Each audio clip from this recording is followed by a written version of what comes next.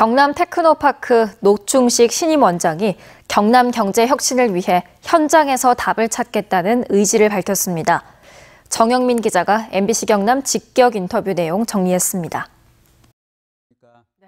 경상남도 출연 기관인 경남 테크노파크의 9대 원장으로 취임한 노충식 원장.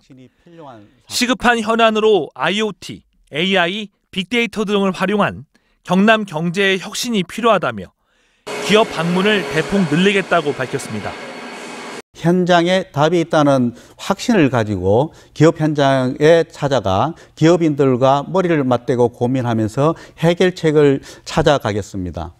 경남 경제는 7, 80년대 산업 구조를 지속하고 있고 ICT 혁명에선 소외돼 왔다며 디지털 전환과 연계한 산업을 육성하겠다고 말했습니다.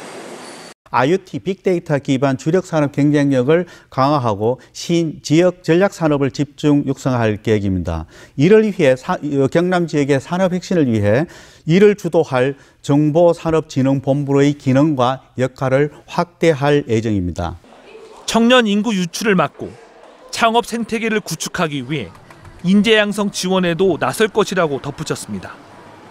지역 인재가 지역 기업에 정착하고 어, 어, 정착할 수 있도록 산학연과 협력하여 지원할 예정입니다. 또한 창업의 핵심 기관인 창원 창조경제혁신센터와 협력하여 한국은행 경남 본부장 등 통화금융계의 오랜 이력으로 전문성 논란이 있었지만 기업 컨설팅과 국제 수지, 산업 정책 등 관련 업무를 수행한 바 있어 업무 수행에 오히려 도움이 될 것이라고 자신했습니다.